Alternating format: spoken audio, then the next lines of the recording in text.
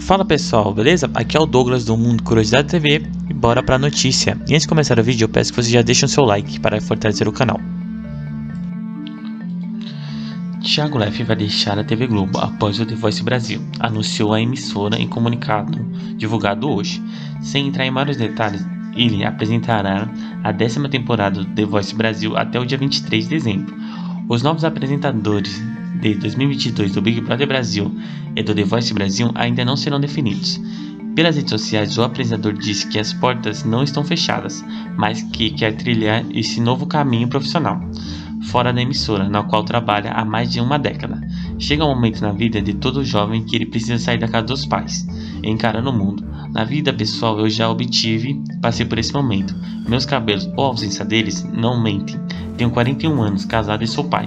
Já na vida profissional, esse momento chegou. Recentemente, após uma nova conversa e com ideias totalmente maduras, comuniquei à Globo minha decisão. Comuniquei à Globo a minha decisão. São quase 16 anos como funcionário. Tomar a decisão de ir embora foi extremamente difícil, mas é o que eu quero neste momento. E tenho a certeza que posso voltar um dia, completou. Nos bastidores da Globo, a aposta principal é de que Marcos Simeone assumirá o Big Brother Brasil. Um dos, um, um dos indícios seria o fato dele só estar ficando no comando do sábado até o final do ano.